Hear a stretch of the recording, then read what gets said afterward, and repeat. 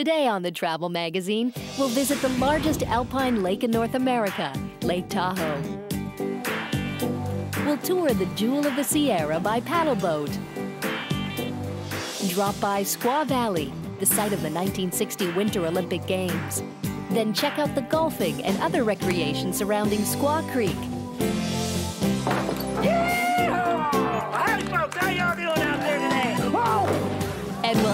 Fun at the Ponderosa Ranch, home of Bonanza.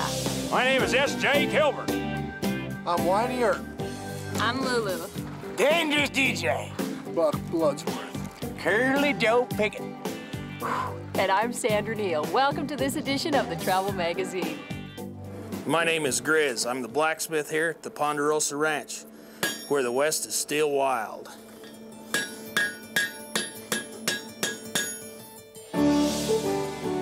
Tahoe is an hour's drive from Reno on the Nevada California border. One of the deepest lakes in the world, its name comes from the Washoe Indian dialect meaning big water. Surrounded by forested mountains, Tahoe is ideal for year round recreation. It's a great place for boating, and the 250 kilometer rim trail attracts hikers and cyclists. On the north shore at Incline Village is the world's most famous ranch, the Ponderosa. Who would have predicted that a 600 acre private ranch in North Tahoe would become the site of the most famous TV Western of all time? But that's exactly what happened when Hollywood transferred Bill Anderson's ranch into the Ponderosa with a TV show called Bonanza in 1959. Let's go back in time now to the Cartwright days. It was the Wild West just after the Civil War.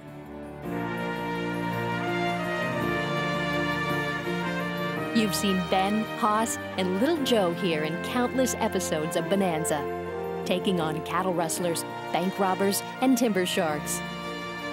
Today, the ranch welcomes visitors to roam the street and take in the Wild West shows, which include a lot of laughs and gunfire. There's an old time saloon, gift shops, and a shooting gallery. You can enjoy hay rides, pancake breakfasts, and Hoss burgers. Or you can ride a horse on some of the trails overlooking the set. So it's really a place for the entire family.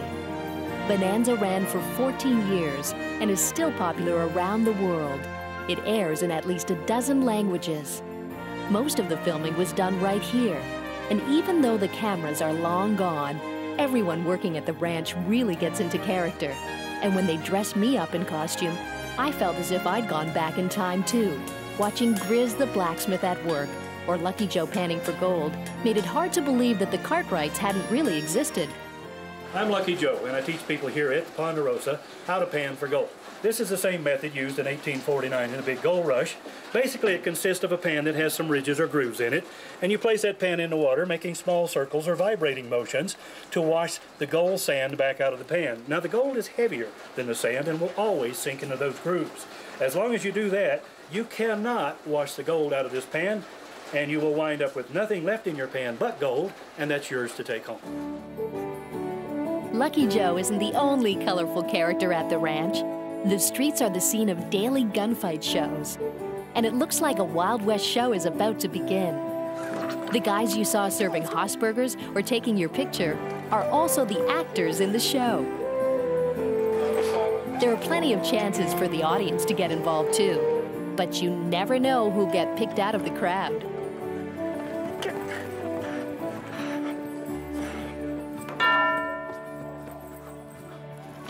And here comes the sheriff. He's a real crowd pleaser. Howdy, folks!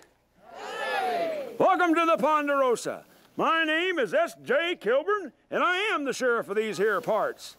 Me and my boy, Whiny, we're here to enforce all the laws. We're looking for the notorious, no good, low down, snake in the grass, skunk, he's got a white streak right down the top of his head, Buck Bloodsworth, and his dirty old gang. And I got his uh, poster there of what he looks like here somewhere. Oh, it's Lulu. She's the town gal. I think I got what you're looking for. Where'd you find that, darling? I left it on the table right next to my. Woo, woo, woo, woo, woo. Folks, this is what he looks like. Little beady-eyed fella, Buck Bloodsworth, and got a little reward there, $10. Anybody happen to see him? Let's see, I need me a deputy here. Someone that's brave is not afraid to stand up to this here fella. This, how about you over there, right there? Come over here. Now, I gotta swear you in there, Will. So hold that key right there, raise that right hand. That's this one. All right? Repeat after me. I I will will not, not a little louder, spit spit in the wind. In the wind. All right. You know who I am? Bloodsworth is the name, the baddest man in these parts. That man right there, that's my partner. Hey, tell them your name. They don't know. You want me to tell my name? Tell them your name. My name is Curly Joe Pickett. Pickett, right. No! Sorry, Bucks, I'm not this This little deputy took his role seriously. He gave the bad guys a real runaround, much to the delight of the spectators.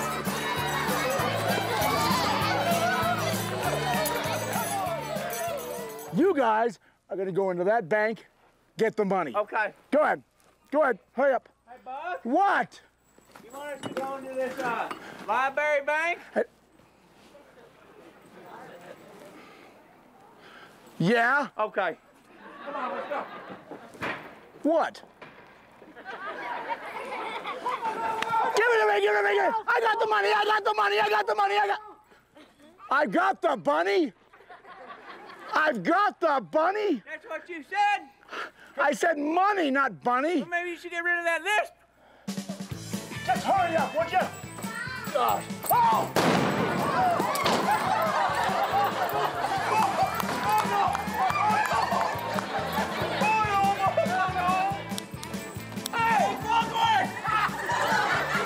What is that? It's my uh, uh, Eastman bazooka.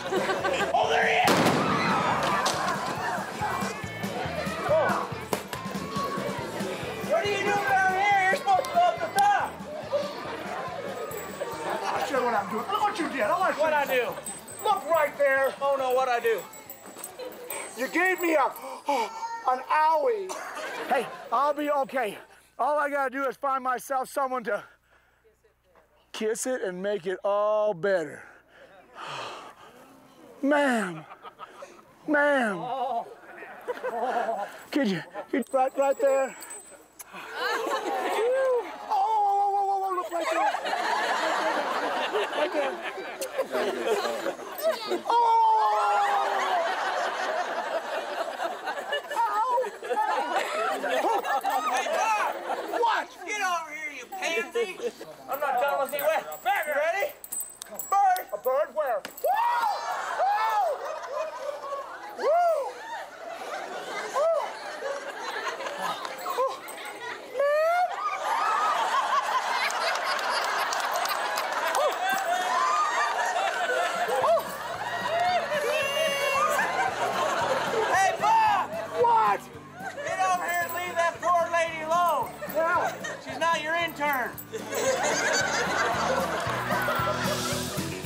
When we return, we'll visit the site of the 1960 Winter Olympic Games and enjoy some breathtaking trails. Then, it's time to board the MS Dixie for a paddleboat excursion on Lake Tahoe.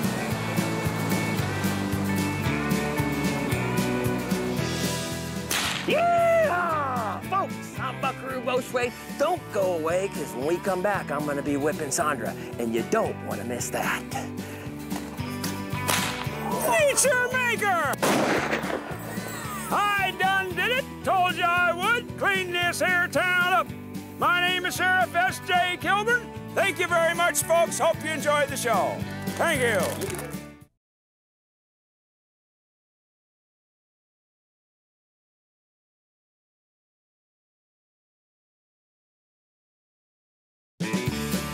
Welcome back to the Travel Magazine and our visit to the Ponderosa Ranch, home of the Bonanza television series.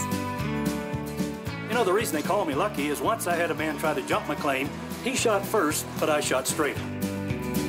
Let's get the real story behind the Ponderosa from ranch boss Buck. Buck Bonanza was undoubtedly the most famous Western television series ever. But it really wasn't created to promote the country western theme.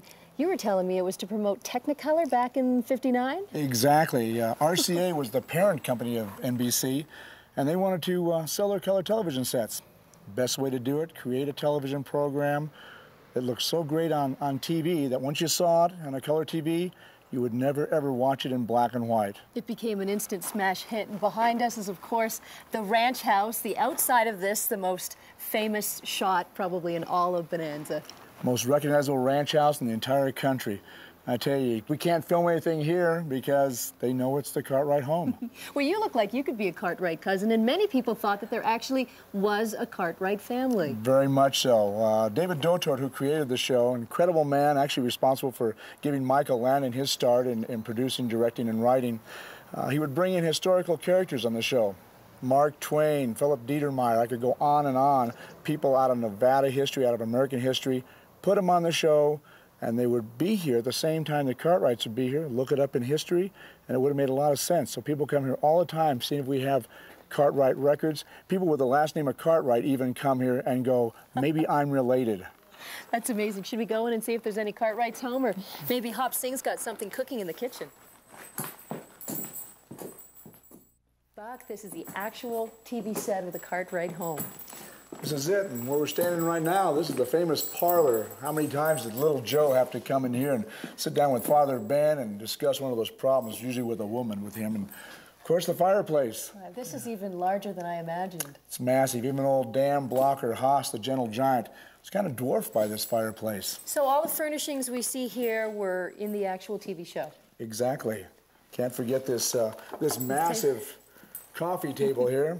You didn't have to worry about theft. You couldn't really hardly budget off that floor. But the entire indoor set was all in one room. You'd think it would have been a whole bunch of different rooms. The office, the dining room, the parlor. Everything. And that's what was kind of deceiving. Not really deceiving so much, but people thought that was, this house was massive. Well, of course, Ben had all the money in the world. He'd have a massive home. You never got to see this house in its entirety the way we're getting to see it right now. And there wasn't a second floor, so the famous staircases really led to nowhere. To nowhere. So just refresh me of the characters. Ben, of course, the patriarch of the Ponderosa Ranch, wasn't a better cattle baron anywhere. The oldest son, Adam, man in black. And of course, Hoss, everyone's favorite, the gentle giant. Big old man, about a little over six foot four. And of course, every woman's favorite, little Joe Cartwright, portrayed by Michael Landon. That's the famous blue chair? That's it, that's Ben's chair. Do you mind if I sit oh, in it? He'd, he'd be honored, I'm sure. Oh. oh, good old Lorne Greene. What an amazing actor. There you go. Well, I guess you're in charge of the ranch now. I can hear that tune.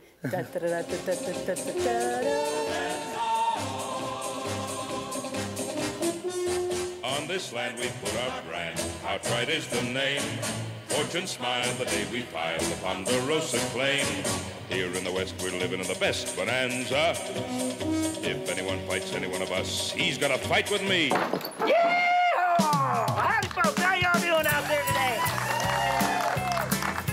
We're gonna get into the fun stuff, the danger stuff. But in order to do that, I'm gonna need me a volunteer. And normally, what I do is I take someone just right out of the crowd. I do not have shells. But today we have a special guest. They came from Canada, right? She's gonna come out and give me a hand. Put your hand together and make a whole bunch of noise for Sandra from Travel Magazine. Oh, you're looking good. Ain't she looking good, folks? Yeah. They dressed her up just for this. All right, come on over here, Sandra. You're gonna give me a hand. What I'm gonna have you do, if you would, stand right here and face that direction. Now, what, nothing to be nervous about because you're the world champion, right? I'm the world champion, yeah. But, well, we'll get to talk about that later. What we're gonna do, I got a newspaper. What I need you to do, Sandra, is hold the very corner edges of that newspaper, holding that awfully tight, just like that. Because what I'm gonna do is I'm gonna get on back here, take this 10-foot bullwhip, snap that in half, hopefully not going too deep. Eyes open or closed? Well, keep them shut. That way you won't see it coming. So with them short little arms, you want to hold that as far away from your face as you can. Yeah. What I'm going to do is I'm going to tear this bottom piece off so that the wind doesn't blow that. Because I'm going to get back there, pop that. Keep that good and tight. Are you scared? Yes. You should be. All righty. Don't worry though, Sandra. I haven't hit anybody in a long, long time. Okay. Here we go. What what happens if I hit you? It's gonna hurt like hell. Okay, here we go. I'm gonna stand here. I'm gonna pop at it a few times to make sure Sandra's not gonna move, because she had, we did not rehearse this. She had no idea. She has no idea what's gonna go on here. So, oh, she's she's holding good, so I'm gonna go ahead and take it right down the middle, huh? Give it up. It's a lot harder for her than it is for me. Thank you. Thank you. Yeah. How you, how you holding up? Bad. Good, bad. good. You're not bad, because we're gonna take it down smaller. I'm wearing a long skirt because my knees are shaking. All oh righty. gosh. There we go. To be a TV host, you gotta have nerve. Boy, she's shaking, folks. I don't know if you can see that. That's okay, though. Just don't move on me. I'm gonna stand here. Pop at it. Make sure that she's not gonna move before I take her right down. Oh, I got awful close that time,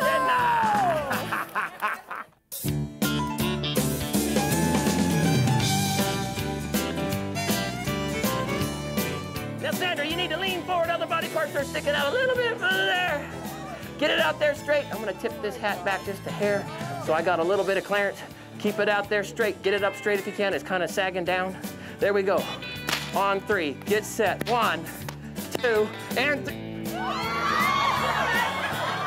I just lost count for a minute. Thank God she didn't see that. Okay, here we go. On three, get ready, get set. One, two, and I can't believe you're really gonna let me do this. Give me that, folks. Give it up for Sandra from Travel Magazine.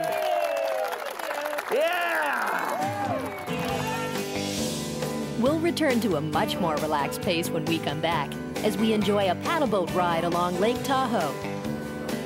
Then, we'll take a visit to Squaw Valley, home of the 1960 Winter Olympic Games.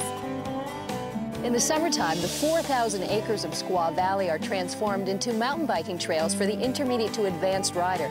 But don't worry, there are tamer paved trails along the creek, and you can even take a horseback ride along the 18-hole championship golf course. There's plenty more to come from Lake Tahoe, so stay with us.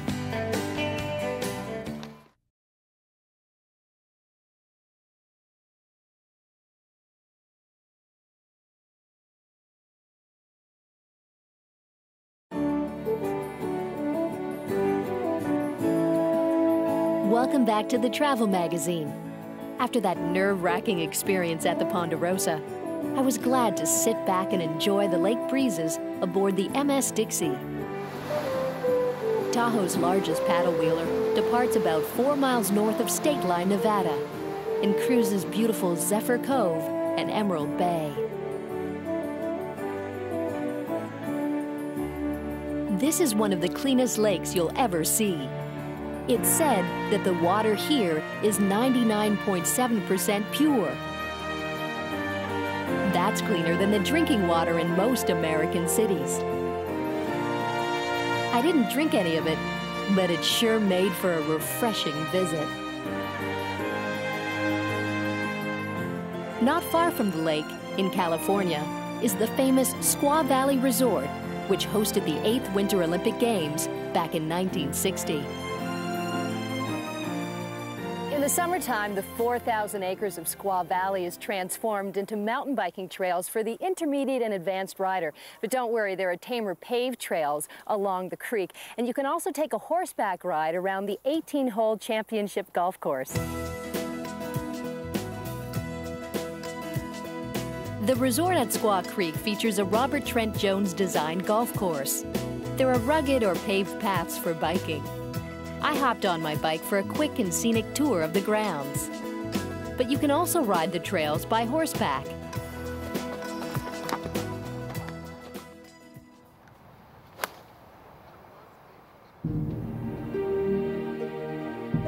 Excitement ran high leading up to the 1960 Winter Olympic Games at Squaw Valley. But an opening day snowstorm caused major transportation problems, delaying the arrival of Vice President Richard Nixon, who was scheduled to officially open the Games. When he finally arrived, the opening ceremonies, orchestrated by Walt Disney, got underway. It was a visual and audio extravaganza, including 52 high school bands and the release of 2,000 doves. The temperature was near zero as the athletes lined up, but the sun broke through as the Greek team began the procession. 1952 double gold medalist Andrea Mead Lawrence handed the Olympic torch to speed skater Kenneth Henry, who lit the Olympic flame.